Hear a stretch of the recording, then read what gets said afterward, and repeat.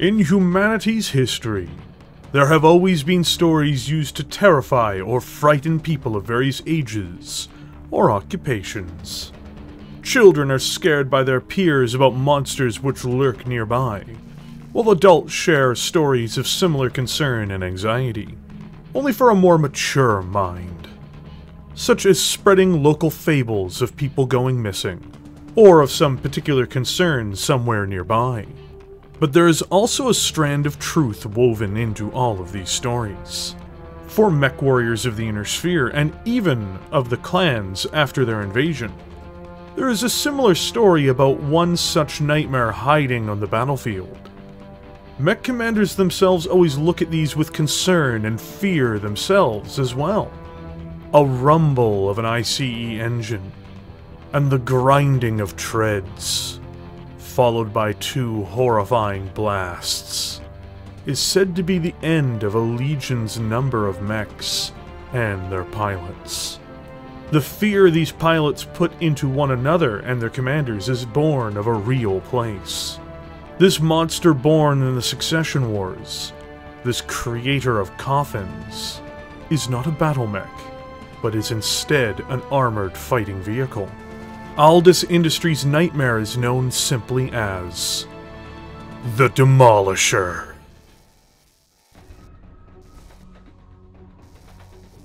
An assault tank weighing in at 80 tons.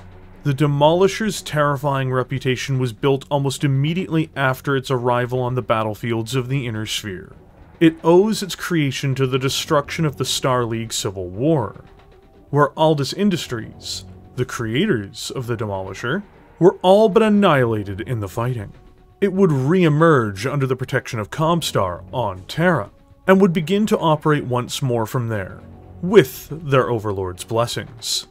They would aim to create a relatively low-cost vehicle, explicitly designed to kill battle mechs, in order to manufacture the vehicle in facilities outside of Terra, and in order to keep its costs low, this machine would be built with incredibly primitive components, but they were entirely geared towards fulfilling a single mission goal. What resulted from this development is one of the most feared vehicles in the entire history of the Inner Sphere, and a product of the Succession Wars explicitly, being built in 2803, meaning that the clans themselves would even be often horrifyingly surprised and neutralized by this beast amongst machines and meat. It would be given the nickname the Mech Slayer, after only a few engagements in the Inner Sphere, all while largely being deployed by mech-starved forces. The Demolisher became the king of armies on a budget during the brutal wars that would emerge across the Inner Sphere from the time of its introduction, all the way into the IlClan era. The appealing element of it wasn't just its raw lethality, driven by two huge cannons on the tank, but by its incredibly low cost. To give context, an urban mech which weighs 30 tons and is only armed with a single AC-10 costs 1.5 million C-bills approximately. The 80-ton Demolisher, on the other hand, has four times the damage output, and only costs 2.2 million C-bills. It's a radically superior deal to defend a position overall, in almost every respect. The Demolisher was always meant to be a part of militia forces defending mildly populated worlds, or it was meant to be a part of a sophisticated defense force on more densely populated planets, but it was never built with the intention of being a frontline battle tank. This would, unfortunately, change and with some mixed results during the utterly destructive Succession Wars. This was simply because the technology to build the Demolisher, being largely so simple, meant that these rugged, primitive machines could be pressed into service, and more easily than heavy battle mechs. Or they could be a part of a force that was going to attack a world that might have been able to afford significant mech forces. But the role of the Demolisher as a dedicated mech killer never left its mission statement, even as these tanks were often turned into assault guns out of necessity for lighter tanks and infantry forces, both in the attack and in the defense. What is most fascinating, however, is that the Demolisher was built after the departure of the Star League Defense Forces on their exodus, and during the clan invasion, would be seen on the front lines in many cases, defending worlds from the alien society coming to attack the Inner Sphere once more. Laying an ambush or holding streets in the thickest of fighting, these war machines would display that simplicity works, and would take a brutal toll on the clan invaders themselves.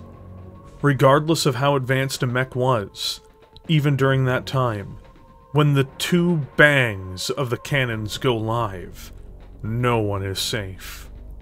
Clan lights, mediums, heavies, or even assaults could be felled by simply walking into an ambush or turning down the wrong street, despite their superior weaponry and armor. And what's the best part about that? Until they made contact with them, the clans had never encountered a tank like the Demolisher. Beyond perhaps reading it in the intelligence reports from the Wolf Dragoons, at best. To run into one, at close range, would be an experience even the hardiest of warriors would have recoiled at, and many would find the death they sought in battle most assuredly, though perhaps with a modicum less honor than they had wished for.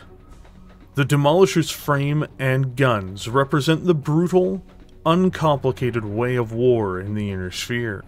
There is no need for advanced sensors or enhanced ranges. There is no need even for a fusion engine. There is only a need for armor, fuel in the tank, heavy firepower, and the raw courage of the crews to defend their homes. War doesn't need to be complex. It can be straightforward.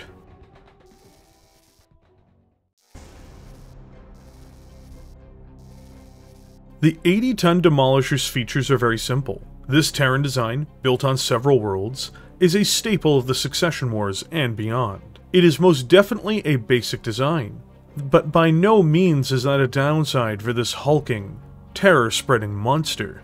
It has been seen across the battlefields of the Inner Sphere in every major theater since its arrival, and its presence can be felt as soon as someone is aware of it.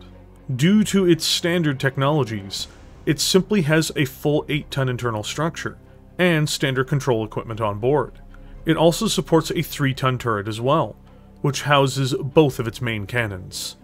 Its onboard targeting and tracking system is the Omicron 7, and its communications package is the Omicron 5000. Neither of these confer the Demolisher any bonuses, however. Being a very basic design on purpose, it has no quirks to my knowledge. Well, aside from making the player across from you stare at it nervously every time it's your turn to fire this monster at one of their battle mechs, that is. But that quirk isn't on paper. Powered by an enormous 23-ton GM 240 ICE engine, the Demolisher has a maximum speed of 54 kilometers per hour, or 5 movement points in the tabletop game. This means it is relatively slow by battlefield standards, but the Demolisher is not meant to be moving with battle line formations, nor is it meant to be the tip of the spear on most offensives.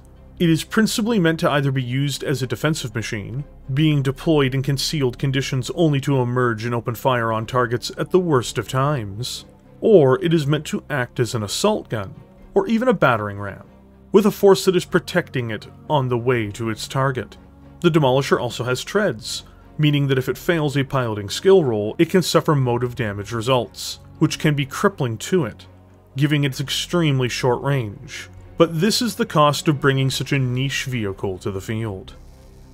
The Demolisher, as a tank, doesn't suffer heat from using ballistic weaponry and its only offensive systems are in fact autocannons in their origins, meaning it requires no heat sinks in order to operate.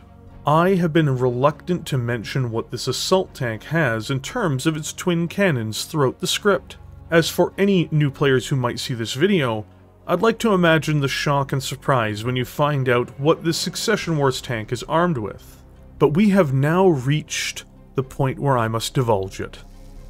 The Demolisher is equipped with a pair of turret-mounted 185mm Chemjet guns, which are classified as autocannon class 20 guns.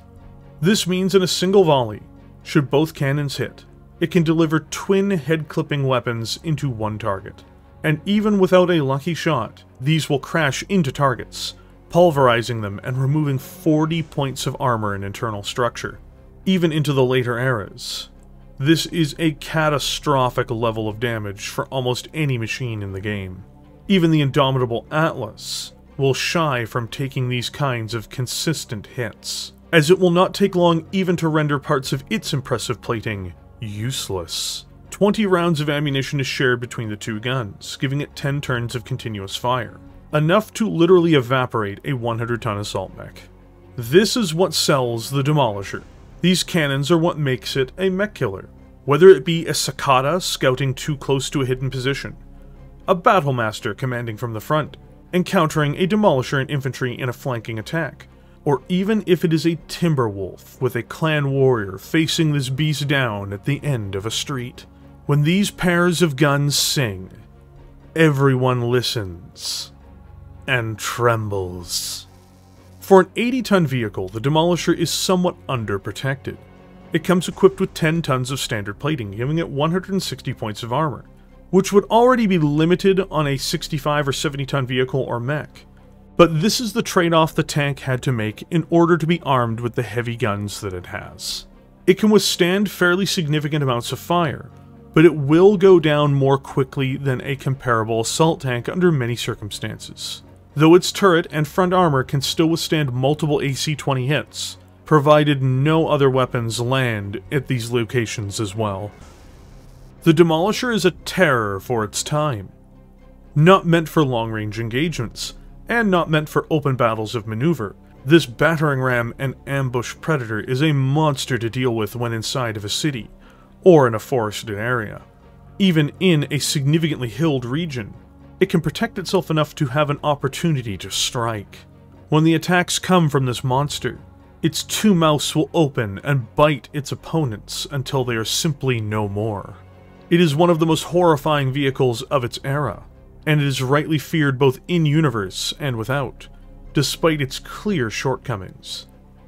The thing about shortcomings is that they can be compensated for by smart deployments, good tactics, and ruthless cunning. And the Demolisher will annihilate anything that makes the mistake of getting a bit too close. Over the course of 350 years since its original deployment, the Demolisher has had a number of variations appear. Outside of the original, there are a total of 9 configurations that have emerged using the original chassis. In this video, I will be covering 3 of them. Some of these reinforce what the Demolisher was built to do, but with new technology. And other variations try fundamentally to change what the Demolisher is. Perhaps one of the best things realized for the Demolisher was recognizing that it was a platform that could be easily used for almost anything as a delivery system, especially as more advanced technologies became widely available. Its twin heavy autocannons can be replaced with just about any other major system available. And most appropriately, one of the best switches is to take the Demolisher from being a localized ambush predator, or escorted assault gun, and turning it into the ultimate long-range artillery machine. But, in terms of quality, while not as impressive as, say, a Long Tom mobile artillery piece, the Arrow 4 upgrade of the Demolisher is in its own right a horrifying machine, installing twin Arrow 4 systems in place of its autocannons and with exceptional amounts of ammunition as well. It does add some medium lasers to try to safeguard the machine in close, but frankly, if the enemy breaks through to it, it would be more or less doomed regardless. But that's not its role. This Demolisher is not meant to be a close-range support vehicle. As I mentioned, it's an artillery piece. To be able to afford this extra room for tonnage, it installs a fusion engine, which also gives it heat sinks for its backup weapons. This does increase its costs by over double to produce, as compared to the base model. But this artillery tank has a very clear role, and is much less expendable. Friendly assets, infantry, mechs, light vehicles, which provide it with coordinates, will allow this devouring beast to launch strike after strike on a target, potentially over 30 which will allow it to completely annihilate whatever was holding up a friendly advance. Fortified positions, slower mechs, infantry, entrenched armor, it doesn't really matter. It's all going to experience the hammer. In other words, it will demolish anyone foolish enough to make itself a target for its enormous missiles. What more could you ask for? Another example of replacing the traditional AC-20s and creating something terrifying is the Demolisher's Gauss Rifle upgrade package, which began production in 3053. This monstrosity installs a pair of Gauss rifles, giving it an incredibly long reach and allowing it to hammer targets with high velocity nickel iron shells, each one doing 15 damage. Not only does this retain the Demolisher's brutal head capping ability, it goes a step further by over doubling its threat range. It means that its ambushes no longer involves waiting until the enemy is close enough to see them only a few hundred meters away. This gives the Demolisher the ability to participate in more open engagements as well, rolling into the open and engaging targets before it can be engaged by lighter and medium mechs. When fully supported, its new cannons play a song of destruction so well that their enemies will hear it regardless of how far away they seem to be.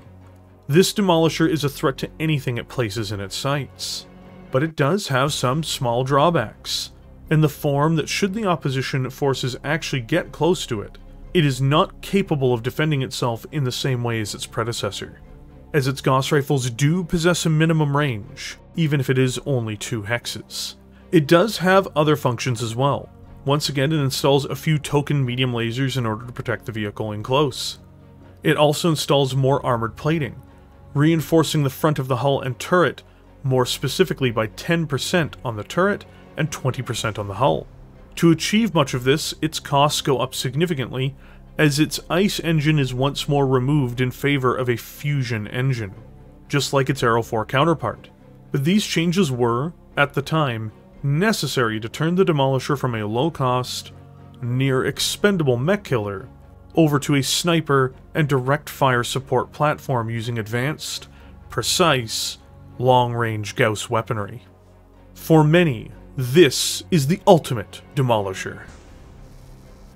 After 3060, the Demolisher had competition beginning to appear in the form of the Demolisher 2, which was built and created by the Lyran Mega Company on Hesperus, known as Defiance Industries. This tank, built by an unrelated organization, was significantly more technologically advanced than the original Demolisher, using the latest levels of weaponry, and it would continue to be improved upon over time, with its later generation model, the Demolisher 2X, using some of the most bleeding technology around, including a clan-made Ultra AC-10 and an improved heavy Gauss rifle. In the face of this competition, Aldis Industries opted to avoid following the same design path as their competitor, making their knockoff equivalent, and they decided to double down on what made the tank so desirable in the first place. They did not attempt to rebuild the Demolisher for the new era by increasing its range, or changing the original's role any longer. Instead, the Demolisher of this new era, equipped with an advanced fuel cell engine and further enhanced by an onboard supercharger, is the ultimate reimagination of the original design. With no other weapons, this Demolisher is installed with twin Mydron XL Ultra Type 20 autocannons, with 40 rounds of ammunition. To face down this tank at close range, is to invite nothing short of a catastrophe at best, and death itself in all likelihood. This much volume of firepower hitting any battle mech is just too much for a mech of any weight to handle. If all rounds land on target, it will deliver 80 points of damage to that adversary, which is enough to drill through the center torso of almost any mech ever. This variant of the Demolisher also benefits from ferro fibrous armor and 11 tons of plating, bringing its total protection to 197 points, and making its turret and front armor heavily reinforced. In terms of its distribution and operators, it would find a home across the inner sphere in every major fighting force. What's most interesting is that House Steiner was the most resistant to taking these on, and bought the fewest numbers due to intense pressure from Defiance Industries, which lobbied hard to instead utilize the homegrown Demolisher 2. It is therefore ironic that the Demolisher in fact saved the Lyran Commonwealth by saving the life of the fleeing Trillian Steiner Davion, who had become the appointed successor of Melissa Steiner II in 3143. To give more detail, when Clan Wolf and Jade Falcon were attacking Tharkad and hunting down important targets, most of the Lyran armed forces had folded or collapsed under the intense assault. Clan Wolf's Alpha Galaxy moved on the Royal Palace, which was protected by the last remnants of the defenders willing to give their lives for the state. Only three Demolisher tanks and a scattering of infantry ground forces were what remained. These brave tank crews knew the surrounding terrain and buildings well, and held firm in their duty. They appeared in ambushes seemingly out of nowhere, coordinating with one another, utterly smashing clan battle mechs before engaging their superchargers to pull back and reposition. Not only did this cost the Wolves dearly in their initial advance, but they were evidently such a problem that the entirety of Alpha Galaxy had to deviate from the attack to deal with them.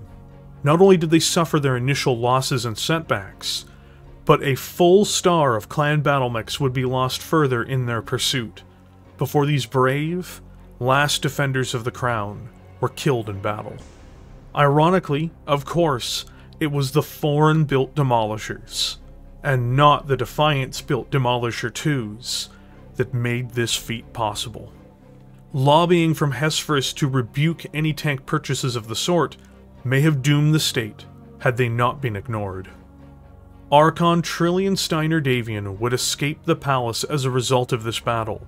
Her life, and the uncontested leadership of the beleaguered Lyran Commonwealth, owe a debt to this machine designed by Terrans, as well as to the brave crews of the Royal Guards who fought and died against impossible odds to ensure a future for the Lyran state and its people.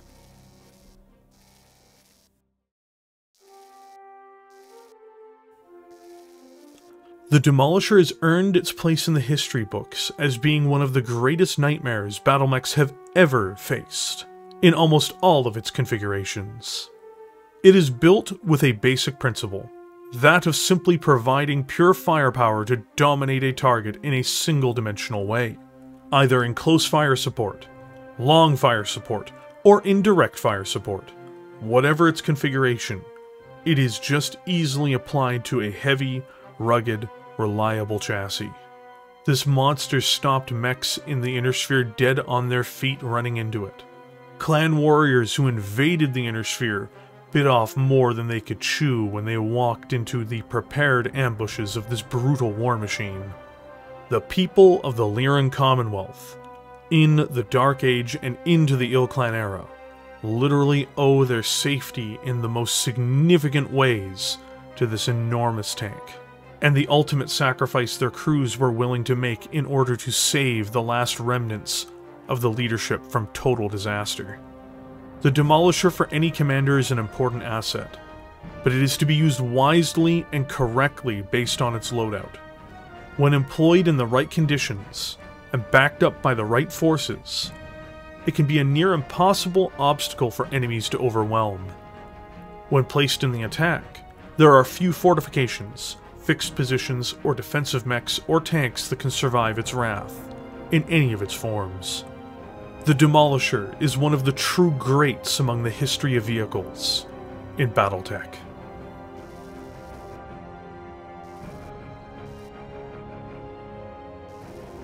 I'm in the big mech in front of you. Shoot me even once, and I'll tear that beer can you call a mech into scrap. I'll be your babysitter for the next couple of days, so don't get killed. I hate it when my guys get killed.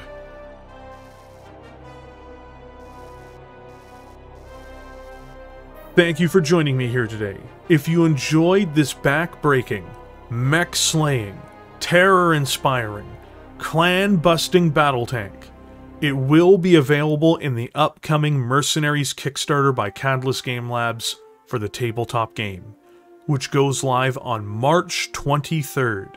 I will leave a link in the description to the backer kit page, which has more information about the Kickstarter itself and has a sign up column if you're interested in the Kickstarter for when it goes live.